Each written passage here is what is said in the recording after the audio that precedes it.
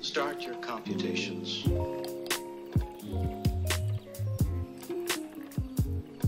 Well, hello everyone. Happy end of November. Can you believe it is like we are tiptoeing into December? what a year.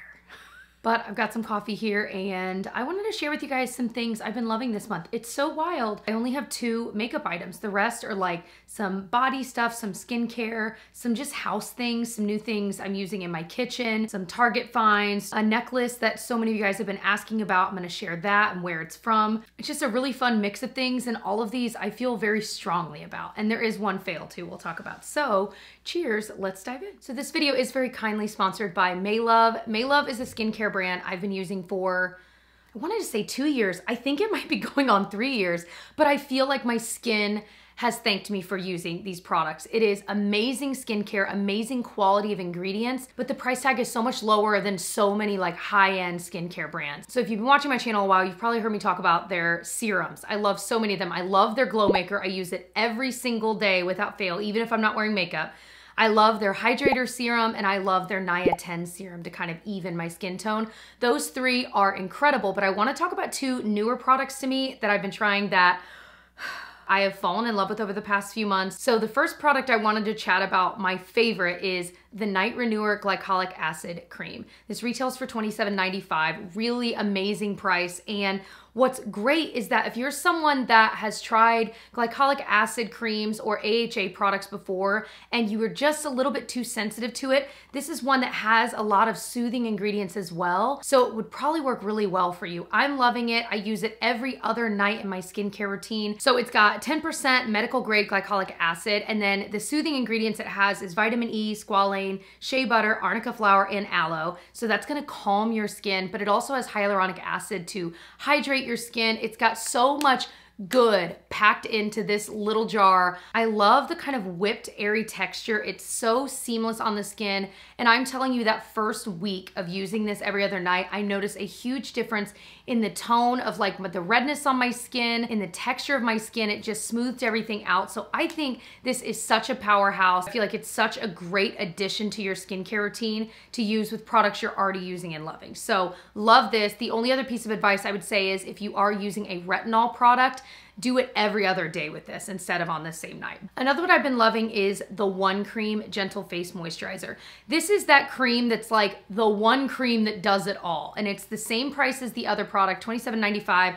I love this underneath makeup. I wore it today under my makeup and it doesn't look weird under makeup. It pairs really well with it. But I also love this enough to use it at night after all of my serums and stuff. I'll put this on to kind of lock it all in. So it has a triple blend of squalane, coconut extracts, and glycerin to kind of nourish the skin, but it also has prebiotics, which is gonna kind of help foster a healthy, good bacteria in your skin. I also love that the cream is lightweight enough. It's not clogging your pores. There's no noticeable scent, so it's good for more sensitive skin. I've been talking recently about, you know, there are a lot of expensive moisturizers out there that I really like, but this one is absolutely on par, if not better than those, and it is way cheaper. So if you're looking for gift ideas either for someone else or even for yourself, if you're thinking about things you wanna ask for, they do sell these in a kit and you can save money if you bundle them. So they have their creams kit, which has both of these products and their eye enhancer cream. They also have a serums trio, which has all three of the serums I love that I mentioned earlier in them. And again, you save money if you bundle. They have a couple of other kits, and of course, you can buy all of these separately. I trust this brand. I feel like they really put so much thought and effort. They're obsessive on their formulations. And so I trust that any product they're putting out is gonna be amazing for your skin. It's gonna have amazing ingredients and an amazing formula. So if you're interested in any of those products, I will have links for all of it down below. Thank you so much, Maelove, for sponsoring this video and supporting my channel over the years, and of course, nourishing my skin too. So let's dive into some more of my favorites. So a couple of makeup items that I've been loving. This one is very new to me. I almost didn't mention it, but I was like, forget it. I love it so much, I'm mentioning it. It's the Tower 28 Shine On Lip Jelly. I have it in coconut. This is what I'm wearing today over the NARS lip pencil in Exbury. It's their satin lip pencil. I love this. This is one of those glosses that like without plumping or giving you that tingly feeling, it still smooths out the lines on your lips. And I just think it is the most beautiful, most comfortable formula. I'm not wearing gloss and lip products all the time because if I'm actually leaving the house, I'm wearing a mask. And if I'm at home, I might not be wearing lip products all the time. So Tower 28 is one of the less expensive brands at Sephora, which I think is pretty cool, but I just think this formula is out of this freaking world. It just glides on, but it's lightweight, it's not sticky, but it just smooths my lips out, man. Mm. Okay, one that I did mention in my empties video, so I'll touch on quickly, is this freaking amazing eyeliner from L'Oreal. Stay with me. There's a reason I'm mentioning this random black eyeliner. It is the only black eyeliner in my recent memory I have tried that actually, if you put it on the waterline, stays and doesn't transfer to the other lid. So I like to wear it on the upper lash line, right on the waterline. And I don't like it when it transfers down because I don't, like lately, I haven't been wearing any eye makeup on my bottom lashes. I don't know, I just haven't been. And so I didn't want it to transfer and look weird and uneven, and it doesn't. It doesn't. And not only that, the packaging is pretty with like the gold little textured lid. It is their Le Liner signature. I guess I didn't actually say the name. I have it in like the Noir Cashmere shade, which is just black. It is amazing. Going to repurchase again and again. I've been looking for a product like this for so long. Wow. So a huge fail. I love so many L'Oreal, we're talking about L'Oreal again, uh, so many L'Oreal mascaras, and I love them. This one was awful. It is their Air Volume Mega Mascara. I was so pumped when this launched and when I bought it, and the wand is one of those big, fat, juicy ones. I love this kind of wand. It looked just fine on my lashes. It did what it said it was gonna do. It volumized and everything, and it looked pretty good, but it instantly transferred just everywhere. And when I say transfer, I mean like smudged, like hours after I put it on. And what's weird is I'm not someone that typically has that problem. So if you are someone that like mascara always smudges, stay far, far away. But if you're like, I've never had that problem and I did with this. And I don't feel like I have tried a mascara in years that has done that to me. So very bizarre. So this is like, I used it three or four times. It happened every single time. And I was like, I'm done trying. Sorry, L'Oreal, that one was a huge fail. Okay, so I've been using men's deodorant for a long time because it's aluminum free and it works on me. I don't mind if I sweat but it's that I don't want to smell, of course. So the sweating doesn't bother me so much, which is why I don't mind going aluminum free. The aluminum is usually what would actually like be the antiperspirant portion. So I get what is just a deodorant, and this is from Old Spice. It's their Oasis scent. I know I'm not alone in my love for these men's deodorants. So many other people I love here on YouTube. I know Taylor Wynn, there's some, I don't remember what the one that was like discontinued, but I know there's a few she likes. This is the one I've just been loving lately. It's called Oasis. It smells like vanilla. It is a ridiculously beautiful scent. Like when I put it on each morning, I'm like, ah, yes, like it just smells good. So I have to recommend if you don't mind sweating, you will love this. Just wanted to pop in and say they do sell a version with the antiperspirant as well. And it's actually prettier because it has a matching cream lid. but I really, really like the packaging. I wish this was like the same color as this because I think it looks even more pretty, even though it's a men's deodorant, whatever. Okay, okay, okay.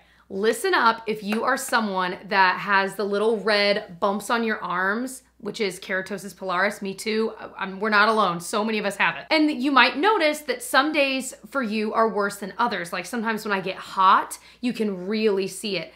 Well, something that has been actually helping lately has been this sugar scrub from Tree Hut. I think I bought it on Ulta's site. It's their vitamin C Shea Sugar Scrub. And I thought for sure I, would, I was saying that wrong. Shea Sugar Scrub. No, I said it right. Here's why I think it works. It has alpha hydroxy acids in it, and that has been known. That's what my dermatologist said to look for for the KP or the keratosis pilaris. So it also has vitamin C, it has shea butter. It has a very fresh smell. I, I can't quite pinpoint, kind of grapefruity, but it's nice. It's I, I actually really like the smell. I love the texture of this. And what I'll do is once or twice a week, I'll just get a little bit and rub it on my arms. I'll do my legs and it just feels great. This definitely is helping with the texture. Like the bumps are not, are hardly there. I think it helps with the redness too, but the redness is still there. Like I said, if I get really, really hot, like working out or something. So I really like it. Give it a try. It doesn't hurt to try. If you need a sugar scrub anyway and you also have those bumps, this would be the perfect one for you to try.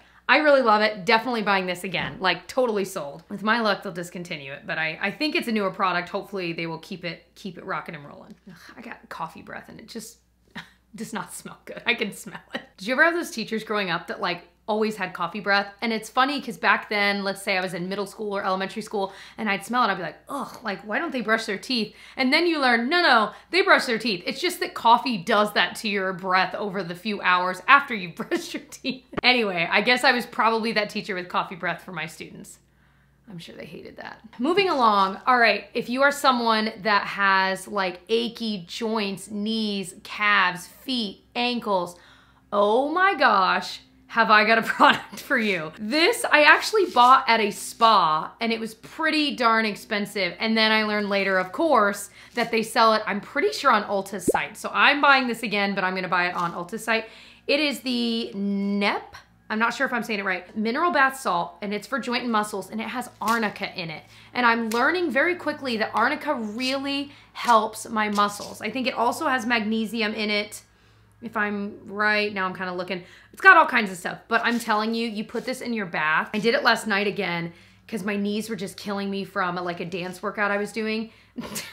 Which still loving MK Fit, her YouTube channel. If you need like fun workouts where you burn like serious amounts of calories, you have got to do her hit hop videos. I'll link it below. I just freaking love her and I've I've definitely lost weight doing those videos. Anyway, but my knees were hurting and I got a warm bath with this in it. And I'm telling you, 20 minutes in that bath, I came out and my knees felt so much better. And that's where, you know, I don't want to have to take pain medicine like Aleve or like an NSAID all of the time. That's not good for you either. And so this is a way that, you know, when I have the time to get a bath, I can use this and I feel like it's actually making a difference. And then I don't feel the need to be taking pain medicines all the time. So that is amazing. Highly recommend. Okay, the necklace. So many of you guys have asked me where I bought it. I bought it on Etsy and I bought it actually from Leanne Says's recommendation. I'm not sure if this is the exact size she has or not. I feel like it looks smaller on her, but they sell a whole bunch of these on Etsy. That is what I've learned. So I'm thinking about getting a silver one too, but it's just this really small beads. I think this might be like two or three millimeters. I love it. I love layering this. Like this is like more of a choker size and then with a longer pendant necklace, it looks instantly like cute, trendy, put together. But the best part is this doesn't get tangled with the pendant necklace because that's one of the problems when I'm wearing a bunch of dainty necklaces together. They tend to get tangled and all wound up together. So I've really been a fan of this. Like I said, I might get another one in a in an even smaller ball size, but we'll see. Okay, random favorite. Bought this on Target for $6. Best $6 I've ever spent. So we hand wash, not all of our dishes. We have a dishwasher here that we use and love. But we do hand wash a lot of things, like a lot of our pans that we invested in, we like to hand wash just to be sure that they last a long time. Same with our mugs. We have quite an extensive mug collection, and a lot of them are not necessarily dishwasher safe. So we always have a drying mat out, and we we use it every single day. This is a giant one. I think it is 18 by 24 inches. So even if you didn't buy this one on Target, you can search anywhere and find these really large ones for pretty cheap. I love this gray one. They have a cream one that I really want too because we we need two of them. We there are many times that we've got them just spread out everywhere. But we had a really small one for the longest time and I was like, it's just not cutting it. Like I would end up still laying towels out to lay pots and pans when we'd make like a big meal.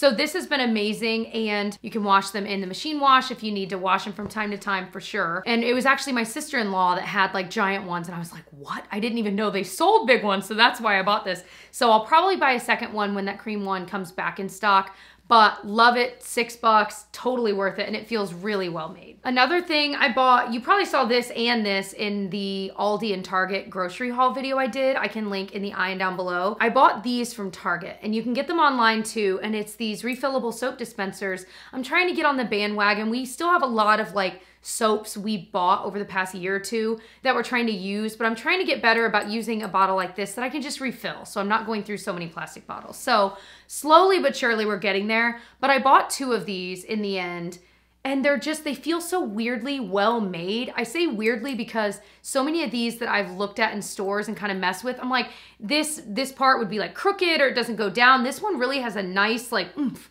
to it. And it's like a thick, really nice glass. So I have a feeling over time, this gold might eventually, you know, like show some wear and tear. But I feel like this is probably one of those things you have to replace from time to time anyway. But I really love it. It looks nice in our kitchen. And this one I'm planning on putting in our downstairs bathroom. I had to think through where, but that, yeah, that'll fit in with the motif in there. So love this. It is so beautiful and so well made.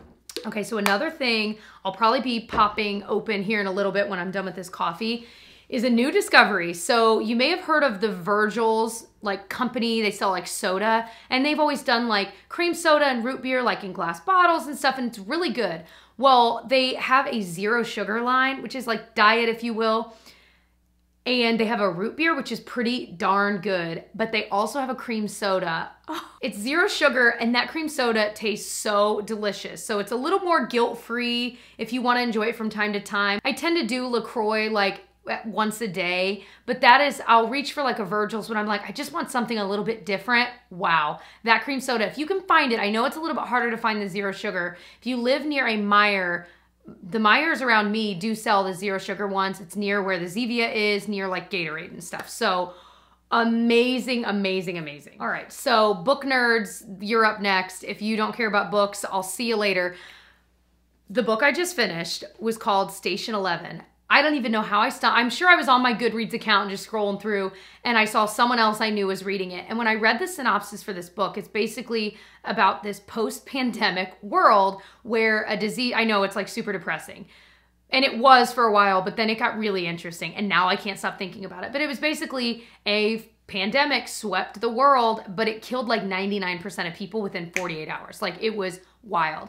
And so it just talks about the aftermath of that. And I don't want to say anything else because you have to read it. And the other thing I want to say is if it sounds interesting to you, you really got to get past the first half of the book. And I know it's like, oh, okay, well, then why read it? Just trust me because it was kind of depressing to read the first half because I'm like, you know, we're living in this pandemic world, but it gave me so much perspective on, I'm like getting teary eyed it gave me so much perspective on how lucky we are right now. Because if the pandemic were so much worse and it killed 98, 99% of people, oh my gosh, like all of your loved ones would be gone, all of them. And it was so awful to read, but it was so interesting to see how these people carved a life out of their new life. And it's it's just good and it's totally made me look at what we're all going through. I know we're all going through different stuff. I know so many of you guys have lost loved ones. So it's not to downplay that because that is I can't even imagine. But I guess my thing is if you're someone like me that you know I haven't lost any loved ones from this and yes it's affected our lives but not in such a detrimental way. It really gives perspective on how much worse it could be or could have been and how in the weirdest of ways we are lucky. So I'm saying all that, take that with a grain of salt, but what a book. What a book. But get through the first half. I promise by the end of it, you'll be like, what an interesting book. Like, and you, I've thought about it every single day since I finished it two weeks ago, every single day. So there you go. And bonus points, they talk about Shakespeare a little bit in it and because there's a theater troupe and you'll see, but so I liked it for that reason too. So by the way, things to look forward to in December. Vlogmas is starting in December every single day. There will be a vlog. I'm like nervous just talking about it. There will be a vlog every single day from me and my husband Tyler. So day one will be up on my channel and it actually will be December 2nd because we'll film it on December 1st and then we'll edit it the next day. So starting really December 2nd, You'll see the vlog on my channel. The next day you'll see it on my husband's channel, which is Tyler Travels TV. And we'll just go back and forth every other day. And holy moly, it's gonna be so much work, but it's gonna be so much fun. If you've never joined us for Vlogmas, this would be an amazing year to start because what else are we doing, right? It has become such a tradition for us. I know so many of you guys have said it has become a tradition for you all, and that means so much to me that we would possibly be a part of your holiday tradition in December. So thank you all for the love and support with that, and I can't wait to start it slash nervous because it's a lot but anyway. And i also have gift guides coming up. I'm planning a kind of unique gift idea small business gift idea video coming soon. I've got a beauty gift sets video coming soon. Whew, all right i will shut up. I hope you enjoyed this video. Again if you are interested in checking out any of the Maelove skincare products that i love i will have information and links down below in the description box. Thank you again Maelove for sponsoring this video and i will see you guys in my next one